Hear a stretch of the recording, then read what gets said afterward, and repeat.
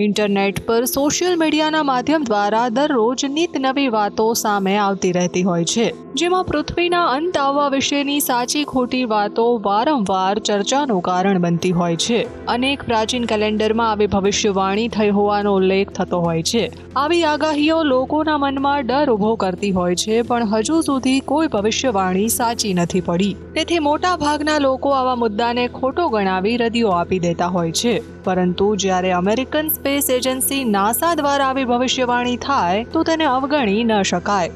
મળતી માહિતી અનુસાર એકસો ઓગણસાઠ વર્ષ બાદ બેન્નો નામનો એસ્ટ્રોઇડ પૃથ્વી સાથે અથડાવાની આશંકા છે. આ એસ્ટેરોઇડ ટકરાયા બાદ પૃથ્વી પર પ્રલય સર્જાશે અને વિનાશ આવશે. નાસાએ વિશાળ એસ્ટેરોઇડ પૃથ્વી સાથે અથડાવાનો અંદાજ લગાવ્યા બાદ પૃથ્વીના વિનાશની તારીખ પણ જાહેર કરી છે.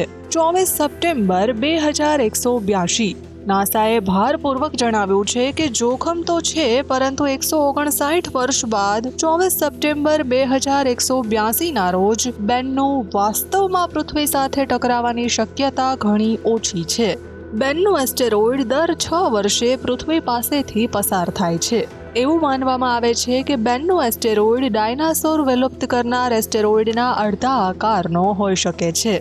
ઉપરાંત બેનનું જ્યાં ટકરાશે તે દુર્ઘટના સ્થળના છસો કિલોમીટરના દાયરામાં વિનાશ સર્જાઈ શકે છે. પરંતુ વિશ્વ વિલુપ્ત થવાની સંભાવનાઓ ઘણી ઓછી છે. હાલ નાસા બેન્નુનો રસ્તો બદલવા અને અથડાતું અટકાવવા મહત્વની રણનીતિ પર કામ કરી રહ્યું છે. Bureau report, GSTV.